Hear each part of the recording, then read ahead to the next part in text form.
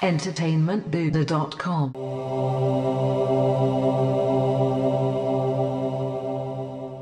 Hey now, fans of war flicks, Matt Heywood here from Entertainment Buddha. Yes, I'm back reviewing films after a long hiatus to cover The Mandalorian and be a little lazy.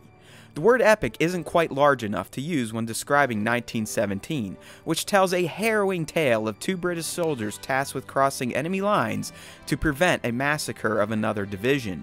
It's hands down one of the most realistic and in your face war dramas I've ever seen, which is due in part to the clever cinematography, which simulates a one shot take for the entire duration.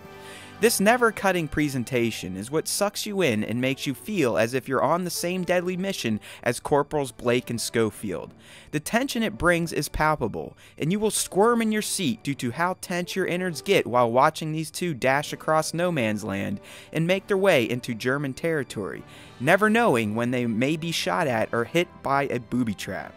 You truly get what has to be the closest silent observer feel to what life must have been like for these soldiers on the front lines of World War I, which is why 1917 to me is now the greatest war movie of all time.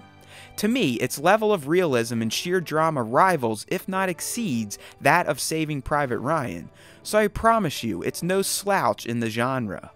While the one take cinematography is magical and makes the war action feel more real than ever, I also have to point out the performances of Dean Charles Chapman and George MacKay, who play the leads. These two grab you from the get go and instantly make you feel as if you're watching real soldiers experiencing real emotions during a really shitty period in human history. 1917 may not be perfect, but there isn't too much to bitch about, so it still gets a 10 out of 10 review score.